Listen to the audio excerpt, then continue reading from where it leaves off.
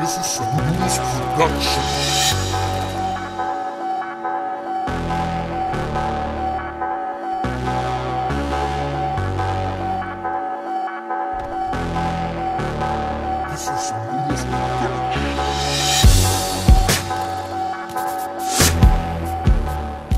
Yep. What's good, everybody? It's NASA.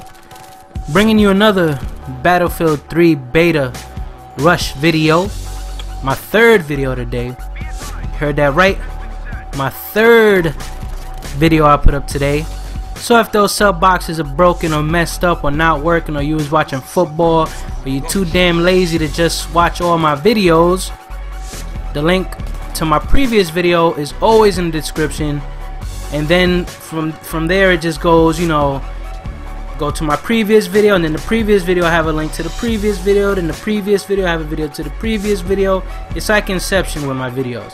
So you can literally go through my most current video to my first video if you just keep clicking the links in the description. I set it up that way so the people who work, the people who have a job, people who have families, people who have other responsibilities, or people who just playing a lot of video games ain't got time to watch other people playing video games. When you do find that time, you could go back, watch my video, not have to look for my other one, just click in the description, boom, get my last video.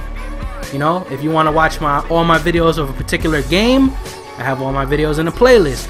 So if you're like, damn, I want to watch all NASA's Battlefield 3 beta videos, then hey, go into my Battlefield 3 beta playlist and you can watch all my Battlefield videos, etc., etc., etc.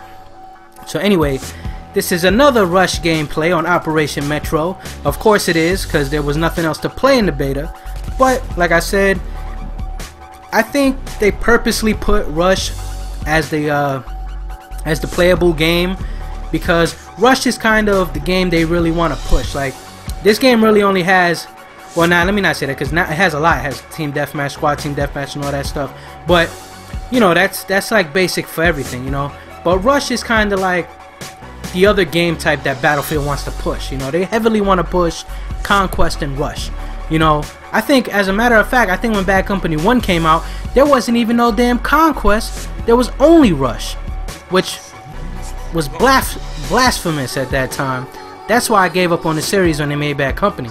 I said I'm never ever playing a Bad Company title ever again. This is embarrassing. I'm not dealing with it.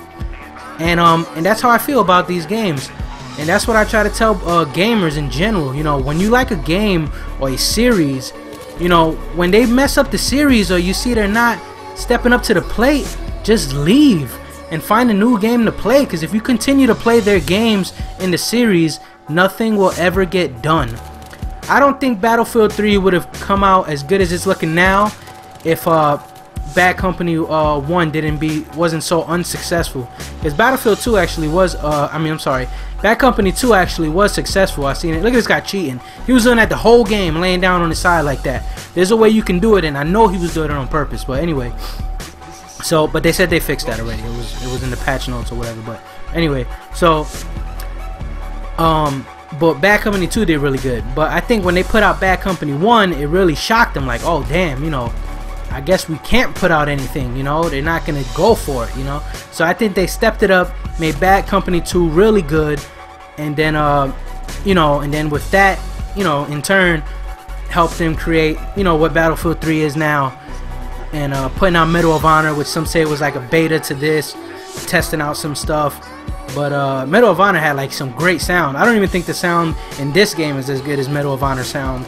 Um, maybe it is in a retail game, but when I played Medal of Honor on PC, the sound was like whoa! Like I couldn't believe how great everything sounds. Like it was amazing. So, but anyway, uh, long story short, if you don't like a game, stop supporting it. Because if you support it by even going to a previous game, you're still showing that company support. So they could care less as long as they're still putting up them numbers. But once those numbers go down, that's when you see change. So, you know, put two and two together. If you don't like something, stand up for it, you know? But regardless of that. So, damn, what even made me go off on that rant? Um, uh, Battlefield 3, they made changes, it's this, and I didn't play the previous ones, and... Oh, oh, now I remember. I was talking about Rush Mode, so...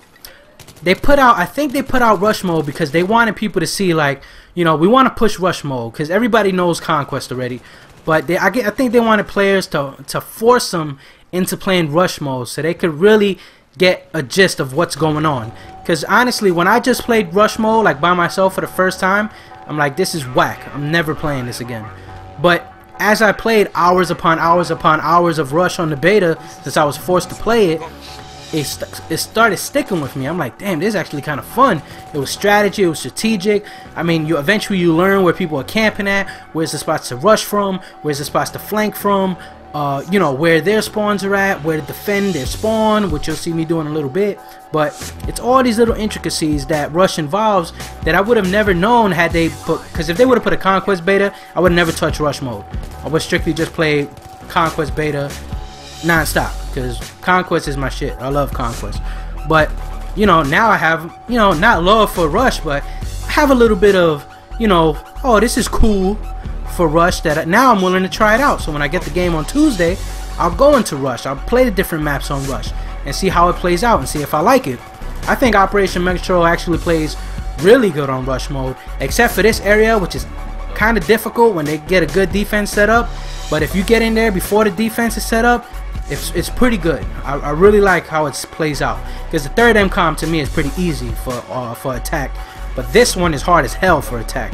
But uh, if you played, you would know that. And I know somebody's gonna be like, "Yeah, I'll be beasting on every MCOM. I arm six MCOMs a game." Well, you're the best Battlefield player in the world. Pat yourself on the back, sir. You know what I mean? But anyway, oh, another thing that was kind of weird to me is I said I would never post a losing game, and uh, some people said, "Oh man, what do you mean you would never post a losing game? That's crazy," or, or some shit like that. But you gotta remember, to me, the objective of any game is to win. I don't never play to kill whore. I don't never kill to boost my stats. I play to win. So to me, losing is nothing to, to, to shine on. I mean, it's not real life. You know, if you play football on a little league team or in high school or college, whatever, and you lose, they say, you know what? It's about playing your hardest, you know? Put in the most effort. If that's all you could come out with, hey, you know, it is what it is. But as long as you try your hardest, that's all that matters. But this ain't sports and this ain't real life. This is video games. You play hundreds of games, you know, tens upon tens of games every day. If you play a lot, I know some people play less than that, but you know what I'm saying. You play a lot. So I'm sure you're not losing every game all day long. There's going to be a game that you won throughout the day that you can post. So my thing is, I'd rather see somebody post a game where they go you know, 20 and 20 in rush and win, or 15 and 25 in rush and win, and you know, contribute to that to that win, then go, let's say 40 and 10, and your team lost, and then you're like, hey, well I was beast and I don't know what the rest of my team is doing. No, you wasn't helping out the rest of your team. That's why you went 40 and 10, while everybody else in your team was getting their ass kicked while you was boosting up your stats. So that's why I said I would never post a losing game. If it came across as kind of the wrong way, I hope that explains it to you. I hope you understand now where I'm coming from. But I play to win, and I try to do usually whatever it takes to win. And in games like this, when I lose, I always try to look back and figure out, like, damn, what could I have done that could have made us win this game, or that I could have did better, that you know, that I could have helped contribute to for to make us not lose. You know, that's how I look at these games. It's as a learning process. always try to learn. I'm a, I'm a deep thinker. I know it sounds funny because I'm talking about video games, but even in life, I like to put a lot of thought into stuff. I don't like to just, you know, take shit for face value and just be like, oh, whatever. You know, I can't do it, I can't do it, or, or nothing like that. I like to always try to, to at least know that I tried whatever I can possibly do for whatever the situation is before I decide to just say, you know, I can't do it or it's whack or whatever. So you know, that's why I want to do that. So, anyway, my thing is to win. I play to win. If you play to boost your stats, that's you. To me, you're making an ass out of yourself. Not me. I play to win. I play to get the victory. To me, that's a good time. Winning is fun to me. Now, I don't like dominating winning. To me, that's boring. Like if you're playing with a full party pub stomping where it's like no challenge, that I don't like. See, there. I mean, I like winning but I like the challenge of getting the win. You know, I like working towards the win. I don't like just beating the hell out of people, you know, where it's effortless. You know, to me that's boring. You know, I don't like I, that. I don't like doing it. even if it's in the cost of winning. I wouldn't want to win 30 games in a row to scrubs. I'd rather win five games in a row to some beast players, you know. But that's me. Like I said, everybody's different. And whatever I say on my channel, it's always my opinion. You know what I mean? When I said I love Homefront, Homefront's a great game. That's my opinion. You know, I know a lot of people don't like Homefront. If not, it would have did better. So when people be like, "No, so you're bugging. Homefront sucks." And Homefront, blah blah blah, and blah blah blah blah blah blah. Yes, I know that. That's your opinion. Of course, that's why you don't like it. If you had my opinion, you'd be agreeing with me. I mean, duh. Obviously, that's common sense. But anyway, I finished this game with a score of 50 and 22 playing the objective and getting kills and doing a little bit of everything but most of all or most importantly is helping my team win and get the victory and that's really all that matters. You play to win the game. You don't play to just play it. If you don't what is that? If it doesn't matter to you then retire. That shit was funny man. Herm Edwards that's like classic. But anyway hope you guys enjoyed this video. And if you did, check out my other previous videos in the description. Alright, peace, I'm out.